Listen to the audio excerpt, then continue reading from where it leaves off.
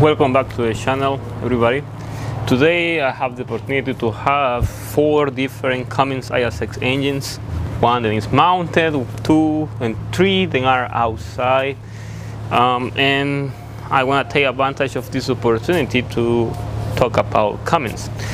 Most of you are afraid of Cummins because many different reasons, and most of you also are going to be uh, happy with Cummins ISX engines or X15s, which is pretty similar. It's the updated version of Cummins ISX. So the problem that we have on these three engines right here is that all these three engines have one thing in common. They all have crankshaft problems. What is then the crankshaft uh, and the bearing spoon at the same time and that causes then the engine didn't rotate anymore and the engine is gone. These three engines have the same problem. They all want need similar repairs. In the case of that one that is mounted on that truck, that one has broken cylinder heads. And this is uh, an issue because engine cannot run. See, these are the broken cylinder heads, I mean bolts. Uh, you can see how it is broken, the, the bolt is broken. So uh, basically, these are common problems for Cummins ISX engines. So you probably wonder what could be the problem that you're gonna get if you get a Cummins ISX engines. Well, a very common problem is that then the crankshaft suffer a damage. After many years of use, Cummins ISX tend to have problems with bearings. And if you don't replace it on time, you're gonna get this issue.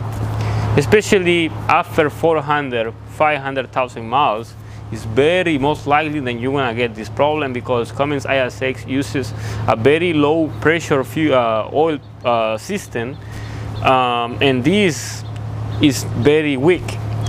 And since the pressure is very low, between 15 to 40, there is a very small gap where the pressure can drop and then the engine can get destroyed.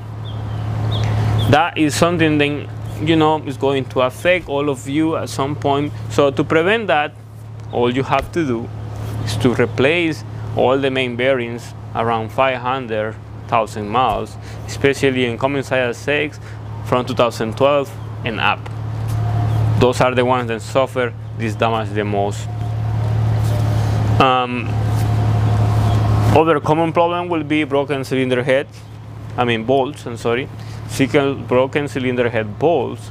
That will be another common problem. And also, many of my other videos, I did another common problem that is broken cylinder heads. In this case, the cylinder head cracks from the bottom.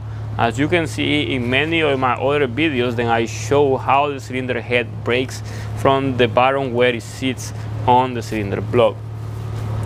So, um, Cummins ISX is an engine that is very powerful, but at the same time it is weak.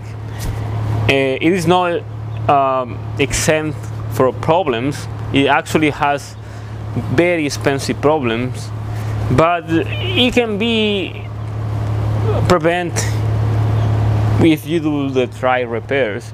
If you delete your DPF system, it's possible then you're gonna you're gonna get broken cylinder head if you don't do bearing sometime, it's possible then you're gonna get problems with your crankshaft. EGR cooler is another problem, goes bad, start leaking coolant inside the combustion chamber. Uh, broken cylinder head bolts is something that is very, it is, how we can say, it is hard to know when that is going to happen because there is no way to know when a cylinder head bolt is going to break unless you remove it on time. But if you remove it on time, probably it's going to break without warning. So uh, if you're planning to buy a Cummins ISX engine or X15 engine, you'll be aware that you probably when I present some of these problems that you are seeing right now on these engines. That doesn't mean that you are going to get them. Just have that clear. Then just because these three engines, these four engines right here, they have all problems. Doesn't mean that the truck that you are going to buy is going to have the same problem. They're all going to vary depending on how they were treated at the beginning when they were brand new. So uh, that is going to change on how it is going to be the type of repairs that they're going to need in the future. 2016 Cummins um, engines and up, they're a little better than the old ones, 2012 to 2015, but that doesn't mean that they are not going to have any problems. Problems are going to be very similar, just in a different level, then are going to last a little longer. Since Cummins uses very similar technology, since the Cummins ISX is a very old platform engine, so they're still carrying that engine from 2001, 2000s, and all the way to 2021. Then we are similar platform. It is not exactly the same engine because have many different modifications, but the basic of the engine is the same. And that is the reason they carry the problems from the original Cummins ISX engine then, are, then were low pressure, damaged bearings, and stuff like that. They carry that all the way to the newer engines because the engineering of the engine is pretty much the same up to right now. I will, I, I will say the Cummins ISX engine is going to be a good engine from one, zero miles to 500,000 miles. After 500,000 miles, you're probably going to expect different problems. So it, it, will be normal. Almost every truck after 500,000 miles is going to have problems. But if it's going to have major problems of engine, internal components, engine problems, it's going to be very expensive. So um, this is something as an owner that you have to keep on mind.